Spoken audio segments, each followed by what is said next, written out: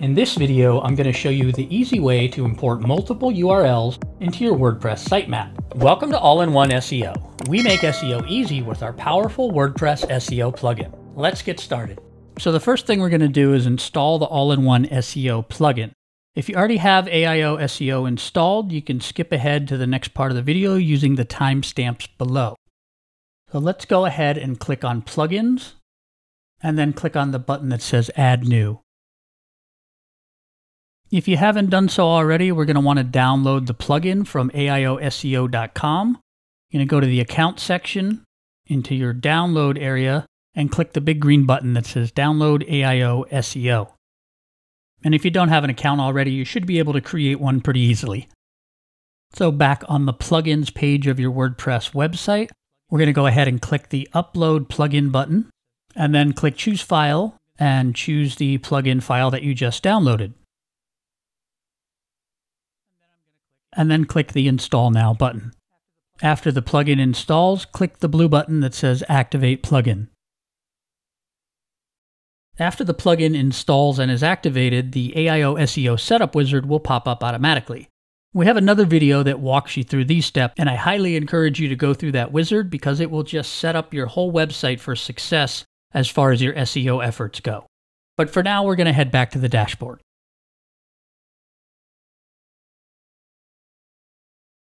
And then if you scroll on down this page, there's a spot for us to enter our all-in-one SEO Pro license key.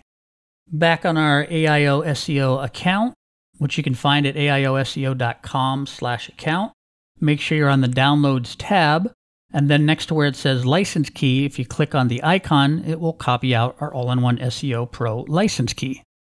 And then we're going to paste the license key into the license key field, click Connect, and that's it. All-in-One SEO Pro is activated on this website. If you want to be doubly sure, you can go ahead and click the blue Save Changes button. And then we're going to scroll up and click on the dashboard link, just so we're all on the same page.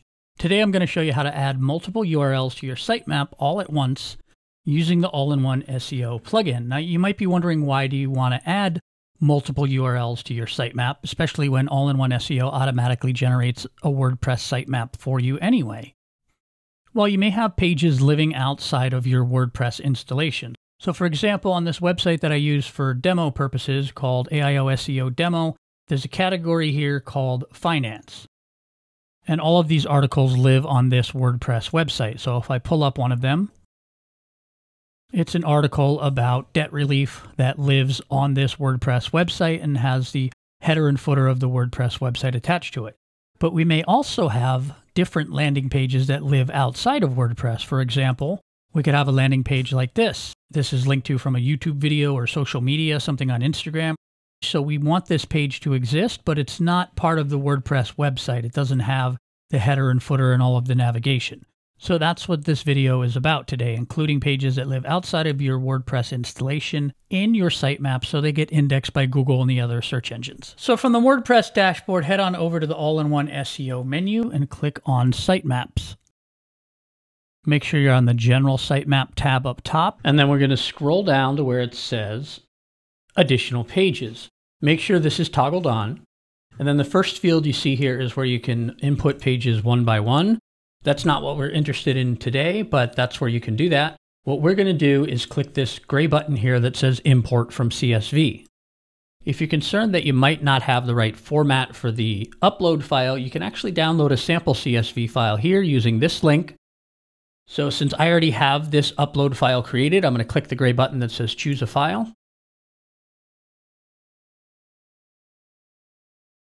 I'm going to click the blue import button. And then if we scroll down, we can see that my landing pages have been added. So in this example, I have a link that says the URL to my site, aioseo-demo.local slash Shopify slash sneakers sneaker 2. So this could be a sneaker product that lives on my Shopify site that does not live in my WordPress site, but I want it to be included in my sitemap.